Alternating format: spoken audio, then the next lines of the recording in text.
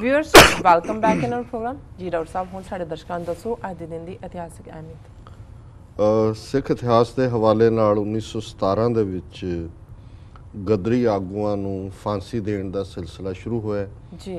ਜਿਵੇਂ ਅਸੀਂ ਕਾਮਾਗਾਟਾ ਮਾਰੂ ਦੀ 100 ਸਾਲਾ ਯਾਦ ਦੇ ਮੌਕੇ ਤੇ ਵੀ ਇਸ ਗੱਲ ਨੂੰ ਬਰੀਫ ਕੀਤਾ ਸੀ। ਜੀ। ਕਿ ਕਿਵੇਂ ਬਾਹਰ ਬੈਠੇ ਸਿੱਖਾਂ ਨੇ ਅਮਰੀਕਾ 'ਚ ਕੈਲੀਫੋਰਨੀਆ ਕੈਨੇਡਾ 'ਚ ਬ੍ਰਿਟਿਸ਼ ਕੋਲੰਬੀਆ ਜੀ। ਉਹਨਾਂ ਨੇ ਬਾਕੀ ਭਾਰਤੀਆਂ ਨਾਲ ਮਿਲ ਕੇ ਗਦਰ ਪਾਰਟੀ ਬਣਾਈ, ਉਹਨਾਂ ਦੀ ਇਹ ਯੋਜਨਾ ਸੀ ਔਰ ਕੱਲੀਆਂ ਇਹ ਅਮਰੀਕਾ, ਕੈਨੇਡਾ ਤੱਕ ਨਹੀਂ ਸੀ। ਪਿਛਲੇ ਦਿਨਾਂ 'ਚ ਹੀ ਮੈਂ BBC ਦਾ ਇੱਕ ਆਰਟੀਕਲ ਦੇਖ ਰਿਹਾ ਸੀ ਸ਼ਾਇਦ ਸਿੰਗਾਪੁਰ ਦੇ ਹਵਾਲੇ ਨਾਲ, ਵੀ ਉੱਥੇ ਕਿਵੇਂ ਪੰਜਾਬ ਦੇ ਰੰਗੜ ਮੁਸਲਮਾਨ ਕੁਝ ਹੋਰ ਕਬੀਲੇ, ਉਹਨਾਂ ਨਾਲ ਸੰਬੰਧਿਤ ਕੁਝ ਹਰਿਆਣੇ ਦੇ ਜੀਂਦ ਭਵਾਨੀ ਇਲਾਕੇ ਦੇ ਉਹਨਾਂ ਨੇ ਵੀ ਕਿਵੇਂ ਜਿਹੜਾ ਹੈ ਉਹ ਸਿੰਗਾਪੁਰ ਦੇ ਵਿੱਚ ਕੁਝ ਅੰਗਰੇਜ਼ ਅਫਸਰਾਂ ਨੂੰ ਮਾਰਿਆ। ਗਦਰ ਦੀ ਬਿਗਨਿੰਗ ਕੀਤੀ ਹਾਲਾਂਕਿ 150 ਦੇ ਕਰੀਬ ਉਹਨਾਂ ਨੂੰ ਫੜ ਲਿਆ ਗਿਆ ਉਹਨਾਂ ਨੇ 30 35 ਅੰਗਰੇਜ਼ ਅਫਸਰ ਮਾਰੇ। ਬਾਅਦ ਦੇ ਵਿੱਚ ਉਹਨਾਂ ਨੂੰ ਇੱਕ ਲਾਈਨ 'ਚ ਖੜਾ ਕਰਕੇ ਗੋਲੀ ਮਾਰ ਦਿੱਤੀ ਗਈ ਸੀ ਸੋ ਇਸ ਗਦਰ ਦੀਆਂ ਗੂੰਜਾਂ ਸਾਰੇ ਪਾਸੇ ਪਈਆਂ ਪੰਜਾਬ ਦੇ ਵਿੱਚ ਜਦੋਂ ਇਹਨਾਂ ਨੇ ਦੇਖਿਆ ਹਾਲਾਂਕਿ ਇੱਕ ਵਿਚਾਰ ਇਹ ਹੈ ਵੀ ਇਹ 4-5 ਸਾਲ ਉਹਦੀ ਤਿਆਰੀ ਵਿੱਚ ਚਾਹੁੰਦੇ ਸੀ ਇਸ ਤੋਂ ਪਹਿਲਾਂ ਕਿ ਗਦਰ ਮਚਾਇਆ ਜਾਏ। ਪਰ 1914 ਦੇ ਵਿੱਚ ਪਹਿਲੀ ਸੰਸਾਰ ਜੰਗ ਸ਼ੁਰੂ ਹੋ ਗਈ ਇੱਕ ਪਾਸੇ ਇੰਗਲੈਂਡ ਦੂਜੇ ਪਾਸੇ ਜਰਮਨੀ। ਸੋ ਗਦਰੀਆਂ ਨੂੰ ਲੱਗਿਆ ਕਿ ਵੀ ਹੁਣ ਅੰਗਰੇਜ਼ ਉਧਰ ਉਲਝੇ ਹੋਏ ਹੋਣਗੇ ਜੰਗ ਦੇ ਵਿੱਚ ਤੇ ਅਸੀਂ ਜਾ ਕੇ ਗਦਰ ਮਚਾ ਸਕਦੇ ਹਾਂ। ਸੋ ਉਹਨਾਂ ਨੇ ਥਾਂ ਥਾਂ ਹੀ ਮਾਰਚ ਕਰਨਾ ਸ਼ੁਰੂ ਕਰ ਦਿੱਤਾ। ਬਾਹਰਲੀਆਂ ਥਾਵਾਂ ਤੋਂ ਪੰਜਾਬ 'ਚ ਉਹਨਾਂ ਨੇ ਗਦਰੀ ਆਪਣੇ ਜਿਹੜੇ ਇੱਥੇ ਵੀ ਸੀ ਉਹਨਾਂ ਨੂੰ ਆਦੇਸ਼ ਦਿੱਤਾ ਵੀ ਪੰਜਾਬ ਆਪਣੇ ਪਿੰਡਾਂ 'ਚ ਜਾਓ। ਸੋ 8000 ਦੇ ਕਰੀਬ ਸਿੱਖ ਅਮਰੀਕਾ ਕੈਨੇਡਾ 'ਚੋਂ ਐਨ ਬਲਾਕ ਹੀ ਚਲੇ ਗਏ। ਜੀ। ਪਰ ਇੱਥੋਂ ਹੀ ਨਾਲ ਉਹਨਾਂ ਦੇ ਮੁਖਬਰ ਵੀ ਵੜ ਗਏ ਏਜੰਸੀਆਂ ਦੇ ਕਿਰਪਾਲ ਸਿੰਘ ਨਾਂ ਦਾ ਬੰਦਾ ਨਾਲ ਲੱਗ ਗਿਆ। ਇਸ ਤੋਂ ਪਹਿਲਾਂ ਕਿ ਉਹ ਉੱਥੇ ਛਾਉਣੀਆਂ 'ਚ ਪਹੁੰਚਦੇ ਛਾਉਣੀਆਂ 'ਚ ਪਹੁੰਚੇ ਉਹਨਾਂ ਨੇ ਕੁਝ ਥਾਂ ਛਾਉਣੀਆਂ ਨਾਲ ਸੰਪਰਕ ਵੀ ਕੀਤਾ। ਪਰ ਉਹ ਥਾਂ ਥਾਂ ਹੀ ਫੜ ਲਏ ਗਏ। ਫਿਰ ਚਾਰ ਲਾਹੌਰ ਕੇਸ ਚੱਲੇ ਲਾਹੌਰ ਕੰਸਪੀਰੇਸੀ ਕੇਸ 1 2 ਔਰ ਉਹਦੇ ਵਿੱਚ ਬਹੁਤ ਸਾਰਿਆਂ ਨੂੰ ਉਮਰ ਕੈਦ ਔਰ ਕੁਝ ਨੂੰ ਫਾਂਸੀ ਜਿਨ੍ਹਾਂ ਦੇ ਵਿੱਚ ਕਰਤਾਰ ਸਿੰਘ ਸਰਾਭਾ ਉਹਨਾਂ ਨੂੰ ਫਾਂਸੀ ਦਿੱਤੀ ਗਈ ਸੀ ਸੋ। ਇਹ ਜਿਹੜਾ ਫਾਂਸੀ ਦੇਣ ਦਾ ਸਿਲਸਿਲਾ ਹੈ 1917 ਦੇ ਵਿੱਚ ਅੱਜ ਦੇ ਦਿਨ ਸ਼ੁਰੂ ਹੋਇਆ। ਜੀ 1985 ਦੇ ਵਿੱਚ SGPC ਨੇ 10 ਬਿਲੀਅਨ ਡਾਲਰ ਹਰਜਾਨੇ ਦਾ ਦਾਵਾ ਕੀਤਾ ਕਿ ਜੀ ਜੂਨ 84 'ਚ ਸਾਡਾ ਨੁਕਸਾਨ 10 ਬਿਲੀਅਨ ਡਾਲਰ ਦਾ ਹੋਇਆ। ਇਹ ਸਰਕਾਰ ਦੇ ਹਾਲਾ 2 ਸਾਲ ਪਹਿਲਾਂ ਉਹਨਾਂ ਨੇ ਡਰਾਮਾ ਕੀਤਾ ਕਿ ਜੀ ਨਹੀਂ ਨਹੀਂ ਨਹੀਂ ਅਸੀਂ 1 ਕਰੋੜ ਕੋਰਟ ਨੇ ਕਿਹਾ ਫੀਸ ਜਮ੍ਹਾਂ ਕਰਾਓ ਸਾਡੇ ਕੋਲ ਦੇਣ ਲਈ ਨਹੀਂ ਹੈ। ਫਿਰ ਸਿੱਖਾਂ 'ਚ ਰੌਲਾ ਪਿਆ ਕਿ ਵੀ ਉਹ ਇਹ ਖਾਨਾ ਪੂਰਤੀ ਹੈ। 30 ਸਾਲ ਬੀਤਣ ਬਾਅਦ ਵੀ ਨਾ ਕੇਸ 'ਚੋਂ ਕੁਝ ਨਿਕਲਣਾ ਨਾ ਇਹ ਪਰਸਿਊ ਕਰ ਰਹੇ ਨੇ। ਜੀ। ਅ, 2005 ਦੇ ਵਿੱਚ ਅੱਜ ਦੇ ਦਿਨ ਮਨਮੋਹਨ ਸਿੰਘ ਨੇ ਰਾਜ ਸਭਾ ਦੇ ਵਿੱਚ ਡਰਾਮਾ ਕੀਤਾ ਕਿ ਜੀ ਅਸੀਂ ਮਾਫੀ ਮੰਗਦੇ ਹਾਂ ਕੌਮ ਤੋਂ ਸਿੱਖਾਂ ਤੋਂ ਵੀ ਮੰਗਦੇ ਹਾਂ ਭਾਰਤ ਵਾਸੀਆਂ ਤੋਂ ਮੰਗਦੇ ਹਾਂ ਜੋ ਨਵੰਬਰ 84 ਪਰ ਇੱਕ ਡਰਾਮਾ ਸੀ। ਹੁਣ ਉਹਦੀ ਕੁੜੀ ਨੇ ਵੀ ਦਮਨ ਸਿੰਘ ਕੇ ਕੀ ਨਾਂ ਹੈ ਉਹਦਾ ਕੱਲ ਪਰਸੋਂ ਦਾ ਬਿਆਨ ਹੈ ਜੀ ਕਿ ਉਹ ਜਿਹੜੇ ਦੰਗ- ਅ, 1984 ਚ ਤਾਂ ਹਿੰਦੂ ਪੀੜਾਂ ਸਾਡਾ ਘਰ ਵੀ ਸਾੜਨ ਆ ਗਈਆਂ ਸੀ। ਮਨਮੋਹਨ ਸਿੰਘ ਬੰਬਈ ਗਿਆ ਹੋਇਆ ਸੀ ਮੇਰੇ ਡੈਡੀ ਉਹ ਤੇ ਮੇਰੇ ਜੀਜੇ ਨੇ ਜਿਹੜਾ ਕਿ ਹਿੰਦੂ ਹੈ ਉਹਨੇ ਬਾਹਰ ਨਿਕਲ ਕੇ ਕਿਹਾ ਨਹੀਂ ਨਹੀਂ ਇਹ ਹਿੰਦੂ ਦਾ ਘਰ ਹੈ। ਉਸ ਕਰਾਊਡ ਚੋਂ ਬਹੁਤ ਸਾਰਿਆਂ ਨੂੰ ਅਸੀਂ ਪਛਾਣਦੇ ਹਾਂ ਕੌਣ ਸੀ। ਸੋ ਇਸ ਕਿਸਮ ਦੀਆਂ ਡਰਾਮੇਬਾਜ਼ੀਆਂ ਜਿਹੜੀਆਂ ਨੇ ਇਹ ਹੁਣ ਕਰ ਰਹੇ ਨੇ। ਇਸੇ ਤਰ੍ਹਾਂ ਹੀ ਇਹ ਮਾਫੀਨਾਮਾ ਵੀ ਡਰਾਮੇਬਾਜ਼ੀ ਸੀ। ਕੋਈ ਪਾਰਲੀਮੈਂਟ ਨੇ ਕੋਈ ਰਾਜ ਸਭਾ ਨੇ ਰੈਜ਼ੋਲੂਸ਼ਨ ਕਰਕੇ ਨਾ ਸਿੱਖਾਂ ਤੋਂ ਮੁਆਫੀ ਮੰਗੀ ਨਾ ਹੀ ਉਹਦੀ ਕੋਈ ਅਕਾਊਂਟੇਬਿਲਟੀ ਦੀ ਗੱਲ ਹੋਈ। ਜੀ। ਸੋ ਵਰਲਡ ਹਿਸਟਰੀ ਦੇ ਹਵਾਲੇ ਨਾਲ 1851 ਦੇ ਵਿੱਚ ਆਈਸੈਕ ਸਿੰਗਰ ਨੇ ਪਹਿਲੀ ਵਾਰ ਜਿਹੜੀ ਸੂਇੰਗ ਮਸ਼ੀਨ ਹੈ ਉਸ ਦਾ ਪੇਟੈਂਟ ਲਿਆ। ਉਸ ਮਸ਼ੀਨ ਦਾ ਨਾਮ ਵੀ ਸਿੰਗਰ ਮਸ਼ੀਨ ਹੁੰਦਾ ਸੀ। ਬਹੁਤ ਜ਼ਮਾਨੇ ਪਹਿਲਾਂ ਅਜੇ ਵੀ ਦਾਦੀਆਂ ਦੇ ਘਰਾਂ 'ਚ ਪਈਆਂ ਹੋਣੀਆਂ। ਜੀ ਜੀ। 1877 ਦੇ ਵਿੱਚ ਥਾਮਸ ਐਡੀਸਨ ਨੇ ਐਡੀਸਨ ਫੋਨ ਜਿਹੜਾ ਕਿ ਸਾਊਂਡ ਰਿਕਾਰਡਿੰਗ ਡਿਵਾਈਸ ਸੀ ਉਹ ਇਨਵੈਂਟ ਕੀਤੀ 1898 ਦੇ ਵਿੱਚ ਹਵਾਈ ਜਿਹੜਾ ਉਹ ਯੂਨਾਈਟਿਡ ਸਟੇਟਸ ਦਾ ਹਿੱਸਾ ਬਣਿਆ। 1953 ਚ ਸੋਵੀਅਤ ਯੂਨੀਅਨ ਨੇ ਗੁਪਤ ਤੌਰ ਦੇ ਉੱਤੇ ਹਾਈਡਰੋਜਨ ਬੰਬ ਦਾ ਟੈਸਟ ਕੀਤਾ ਹੈ। 1955 ਦੇ ਵਿੱਚ ਹੀ ਪ੍ਰੈਜ਼ੀਡੈਂਟ ਹਾਈਜ਼ਨਹਾਵਰ ਆਈਜ਼ਨਹਾਵਰ ਨੇ ਕਿਹਾ ਕਿ ਹੁਣ ਮਿਨੀਮਮ ਵੇਜ ਜਿਹੜਾ ਉਹ 1 ਡਾਲਰ ਹੋਏਗਾ। ਉਦੋਂ 75 ਸੈਂਟ ਸੀ। ਤੁਸੀਂ 1955 ਚ ਕਰਦੇ ਕੰਮ ਜੀ। 75 ਸੈਂਟ ਤੁਹਾਡੀ ਪਰ ਆਵਰ ਤਨਖਾਹ ਹੋਣੀ ਸੀ। ਜੀ ਜੀ।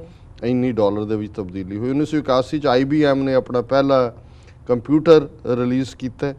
1988 ਦੇ ਵਿੱਚ movie last temptation of Christ ਆਈ ਜਿਹਦੇ ਥੱਲੇ ਈਸਾਈਆਂ ਨੇ ਕਾਫੀ ਪ੍ਰੋਟੈਸਟ ਕੀਤਾ ਕਿਉਂਕਿ ਜੀਸਸ ਕ੍ਰਾਈਸਟ ਦੀ ਇਹਨੂੰ ਲਵ ਸਟੋਰੀ ਬਣਾਇਆ ਹੋਇਆ ਸੀ। ਜੀ। ਅ, ਔਰ 2010 ਦੇ ਵਿੱਚ ਜੂਲੀਅਨ ਅਸਾਂਜੇ ਨੇ ਡਿਕਲੇਅਰ ਕੀਤਾ ਕਿ ਉਹ ਹੋਰ ਵੀ ਅਫਗਾਨ ਵਾਰ ਨਾਲ ਸੰਬੰਧਿਤ ਡਾਕੂਮੈਂਟ ਜਿਹੜੇ ਨੇ ਉਹ ਰਿਲੀਜ਼ ਕਰਨਗੇ। ਜੀ ਡਾਕਟਰ ਸਾਹਿਬ ਪ੍ਰੋਗਰਾਮ ਦੇ ਅੰਤ ਵਿੱਚ ਸਾਡੇ ਦਰਸ਼ਕਾਂ ਦਾ ਵਿਚਾਰ। ਅੱਜ ਦੇ ਵਿਚਾਰ ਲਈ ਅਸੀਂ ਭਾਈ ਨੰਦ ਲਾਲ ਜੀ ਦੀ ਗਜ਼ਲ ਨੰਬਰ 50 ਨੂੰ ਚੁਣਿਆ ਜੀ। ਇਸ ਦੇ ਕੁੱਲ 9 ਸ਼ੇਅਰ ਨੇ ਪਰ ਮੈਂ ਬਹੁਤਾ ਵੀਰ ਵਿੱਚ ਨਹੀਂ ਜਾਵਾਂਗਾ ਕਿਉਂਕਿ। ਸਮਾਂ ਸੀਮਾ ਵੀ ਹੈ। ਉਸ ਦਾ ਮੂਲ ਪਾਠ ਹੈ ਬਾਸ਼ਨੋ ਅਜ਼ ਮਨ ਹਰਫ ਅਜ਼ ਰਫਤਾਰ ਇਸ਼ਕ ਤਾਬਿਆਬੀ ਲਜ਼ਤ ਅਜ਼ ਗੁਫਤਾਰ ਇਸ਼ਕ। ਇਸ਼ਕ ਮੌਲਾ ਹਰ ਕਿਰਾ ਮਿਸਮਾਰ ਕਰਦ ਮੁਗਤ ਨਮਾ ਦਾਨਦ ਸਰ ਦਰਕਾਰ ਇਸ਼ਕ ਆਂ ਜਹੇ ਦਮ ਕੋ ਬਾ ਯਾਦਸ਼ ਬੀ ਗੁਜ਼ਰਤ ਸਰ ਹਮਾ ਖੁਸ਼ ਕੋ ਰਵਦ ਦਰਕਾਰ ਇਸ਼ਕ ਸਦ ਹਜ਼ਾਰਾਂ ਸਰ ਬਕਫ ਦਰ ਰਾਹੇ ਊ ਇਸਤ ਦਾ ਤਕੀਆ ਬਰ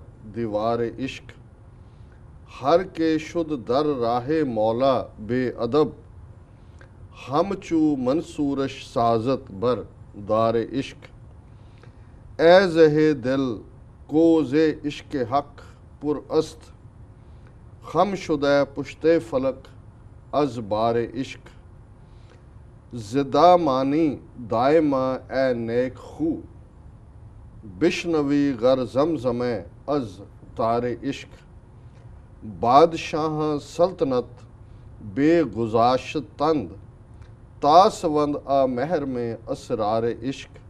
ਅਖੀਰਲਾ ਸ਼ੇਰ ਹੈ ਮਹਿਰ ਮੇ ਜੁਜ਼ ਬੰਦਗੀ ਦੀਗਰ ਨਾ ਦੀਦ ਹਮ ਚ ਗੋਇਆ ਹਰ ਕੇ ਸ਼ੁੱਧ ਬਿਮਾਰ ਇਸ਼ਕ।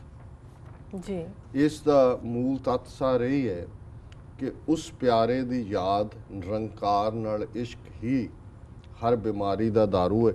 ਜੀ। ਤੇ ਜਿਸ ਨੂੰ ਰੱਬ ਨਾਲ ਇਸ਼ਕ ਹੋ ਜਾਂਦਾ ਹੈ, ਉਸ ਸਿਰ ਤਲੀ ਤੇ ਟਿਕਾ ਕੇ ਉਸ ਧਾਰ ਜਾਂ ਸੂਲੀ ਦੀ ਭਾਲ ਚ ਹੁੰਦਾ ਹੈ ਕਿ ਰੱਬ ਦੇ ਪਿਆਰ ਚ ਉਹਨੂੰ ਸੂਲੀ ਮਿਲੇ, ਉਹਨੂੰ ਸ਼ਹੀਦੀ ਮਿਲੇ, ਉਹ ਦੁਨੀਆ ਨਾਲੋਂ ਟੁੱਟ ਜਾਂਦਾ ਹੈ ਤੇ ਸਿਰਫ ਰੱਬ ਦਾ ਹੋ ਜਾਂਦਾ ਹੈ। ਵੱਡੇ ਵੱਡੇ ਬਾਦਸ਼ਾਹ ਵੀ ਇਹ ਕਾਮਨਾ ਕਰਦੇ ਨੇ, ਜਦੋਂ ਤਖਤੋ ਤਾਜ ਛੱਡਦੇ ਨੇ ਕਿ ਉਹਨਾਂ ਨੂੰ ਇਸ਼ਕ ਦਾ ਰਸਤਾ ਸਮਝ ਆਏ ਇਸ਼ਕ ਦੇ ਰਸਤੇ ਤੋਂ ਕੁਰਬਾਨ ਹੁੰਦੇ ਨੇ। ਜੀ। ਔਰ ਇਸ ਗਜ਼ਲ ਦਾ ਪੰਜਾਬੀ ਅਨੁਵਾਦ ਪ੍ਰਿੰਸੀਪਲ ਹਰਭਜਨ ਸਿੰਘ ਨੇ ਕੀਤਾ। ਜੀ। ਉਹ ਕਹਿੰਦੇ ਨੇ ਇਸ ਇਸ਼ਕ ਦੀ ਰਮਜ਼ ਤਾਂ ਮੈਥੋਂ ਸੁਣੀ ਹਾਲ ਤੂੰ ਪਿਆਰੇ ਤਾਂ ਜੋ ਉਸ ਥੀ ਤੈਨੂੰ ਆਵਣ ਸਵਰਗੀ ਇਸ਼ਕ ਹੁਲਾਰੇ। ਇਸ਼ਕ ਮਾਹੀ ਦਾ ਜਿਸ ਤਨ ਲੱਗੇ ਕਰਦਾ ਖੂਬ ਖੁਆਰੀ ਜਾਣ ਸੁਭਾਗਾ ਉਸ ਸਿਰ ਤਾਈ ਜਾਵੇ ਜੋ ਬਲਿਹਾਰੀ। ਦਮ ਸਫਲਾ ਹੈ ਉਹੀਓ ਜਿਹੜਾ ਸਿਮਰਨ ਵਿੱਚ ਵਿਹਾਵੇ। ਤਨ ਸੀਸ ਜੋ ਪ੍ਰੇਮ ਦੇ ਮਾਰਗ ਚੱਲ ਕੇ ਸ਼ੁਕਰ ਮਨਾਵੇ। ਲੱਖਾਂ ਅਤੇ ਹਜ਼ਾਰਾਂ ਪ੍ਰੇਮੀ ਸੀਸ ਤਲੀ ਤੇ ਧਰ ਕੇ ਇਸ਼ਕ ਕੰਧ ਦਾ ਲਈ ਸਹਾਰਾ ਤਾਂਗ ਮਾਹੀ ਦੀ ਕਰਦੇ। ਨਿਰਮਲ ਭਉ ਤੋਂ ਸਖਣਾ ਹੋ ਜੋ, ਪ੍ਰਭੂ ਦੇ ਮਾਰਗ ਆਵੇਂ। ਉਹ ਮਨਸੂਰ ਦੇ ਵਾਂਗੂ ਜਾਣੀ, ਸੂਲੀ, ਟੰਗਿਆ ਜਾਵੇ।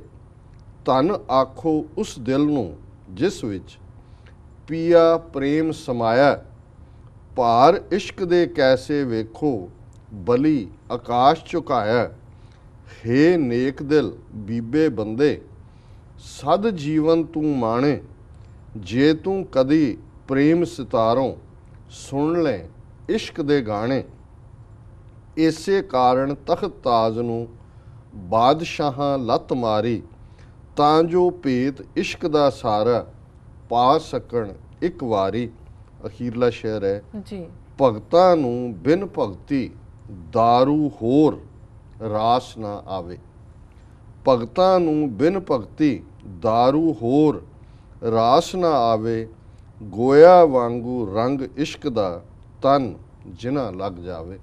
ਔਰ ਇਹੀ ਇਹ ਸਾਰੇ ਥੀਮ ਨੂੰ ਹੀ ਜਦੋਂ ਗੁਰੂ ਨਾਨਕ ਸਾਹਿਬ ਨੇ ਫਰਮਾਇਆ ਕਿ ਜੋ ਤੋ ਪ੍ਰੇਮ ਖੇਲਨ ਕਾ ਚਾਓ ਸਿਰ ਤਰ ਤਲੀ ਗਲੀ ਮੇਰੀ ਆਓ ਇਤ ਮਾਰਗ ਪੈਰ ਤਰੀਜੈ ਸਿਰ ਦੀਜੈ ਕਾਣ ਨਾ ਕੀਜੈ। ਕਿ ਜੇ ਤੈਨੂੰ ਪਿਆਰ ਦੀ ਖੇਡ ਖੇਡਣ ਦਾ ਸ਼ੌਕ ਹੈ ਤਾਂ ਸਿਰ ਨੂੰ ਤਲੀ ਤੇ ਰੱਖ ਲੈ ਤੇ ਮੇਰੀ ਗਲੀ ਵਿੱਚ ਆ ਜਾ।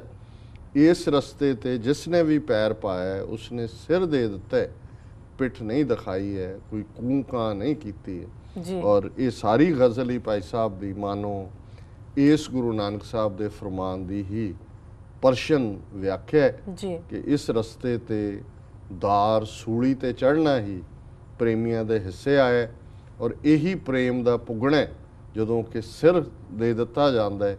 ਪਰ ਉਸ ਪਿਆਰੇ ਨਾਲੋਂ ਨੇ ਨਹੀਂ ਤੋੜਿਆ ਜਾਂਦਾ। ਸੋ ਇਹ ਅੱਜ ਦਾ ਵਿਚਾਰ। ਜੀ ਡਾਕਟਰ ਸਾਹਿਬ ਤੁਹਾਡਾ ਬਹੁਤ ਬਹੁਤ ਸ਼ੁਕਰੀਆ। ਤੁਸੀਂ ਅੱਜ ਦਾ ਵਿਚਾਰ ਸਾਡੇ ਦਰਸ਼ਕਾਂ ਨਾਲ ਸਾਂਝਾ ਕੀਤਾ। ਵਿਊਅਰਸ ਸਾਡੇ ਪ੍ਰੋਗਰਾਮ ਦਾ ਸਮਾਂ ਇੱਥੇ ਸਮਾਪਤ ਹੁੰਦਾ। ਤੁਸੀਂ ਆਪਣੀ ਰਾਏ ਤੇ ਸੁਝਾਅ ਸਾਨੂੰ ਭੇਜਣਾ ਪੁਣਾ ਸਾਡੇ ਇਸ ਪਤੇ ਤੇ sos@tvg4.tv ਤੇ ਅਸੀਂ ਆਪਣਾ ਪ੍ਰੋਗਰਾਮ ਲੈ ਕੇ ਫਿਰ ਦੁਬਾਰਾ ਹਾਜ਼ਰ ਹੋਵਾਂਗੇ। ਤਦ ਤੱਕ ਲਈ ਮੈਨੂੰ ਤੇ ਆਪਣੇ ਡਾਕਟਰ ਸਾਹਿਬ ਨੂੰ ਆਗਿਆ ਦਿਓ। ਵਾਹਿਗੁਰੂ ਜੀ ਕਾ ਖਾਲਸਾ ਵਾਹਿਗੁਰੂ ਜੀ ਕੀ ਫਤਿਹ।